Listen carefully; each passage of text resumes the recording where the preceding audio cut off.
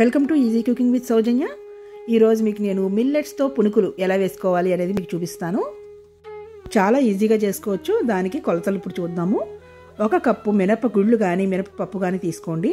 తర్వాత నాలుగు కప్పులు మిల్లెట్స్ తీసుకొని ఎయిట్ అవర్స్ పాటు నానబెట్టుకోండి. నానబెట్టుకున్న తర్వాత గ్రైండ్ చేసుకోవడానికి ముందుగా అటుకులని బాగా శుభ్రం చేసుకుని ఒక కప్పు అటుకులు ఉంటే సరిపోతుంది. అటుకుల్ని బాగా కడుక్కుని ఒక్క టూ మినిట్స్ అలా తడి నీళ్ళలో ఉంచేసి దాని తర్వాత అన్నీ కలిపి చక్కగా గారెల పిండిలాగా గ్రైండ్ చేసుకోండి. గ్రైండ్ చేసుకుంటే మీకు చక్కగా పుణుకులు వేసుకోవడానికి చాలా బాగుంటుంది.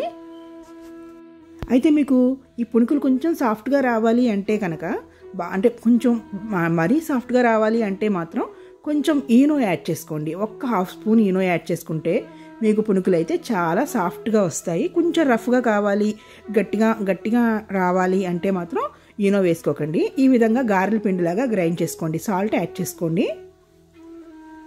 తర్వాత సాల్ట్ యాడ్ చేసుకున్న తర్వాత నూనె వేడి చేసుకుని ఈ విధంగా మీకు ఏ షేప్ కావాలంటే ఆ షేప్లో వేసుకోండి.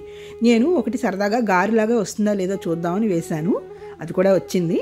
సో మీకు ఏ షేప్ కావాలంటే ఆ షేప్లో మీరు పుణుకులు అయితే వేసుకోవడమే. చూసారు కదా ఎలా వచ్చాయో? తప్పకుండా ట్రై చేసి ఎలా వచ్చిందో నాకైతే తెలియజేయండి. Thank you for watching my video thank you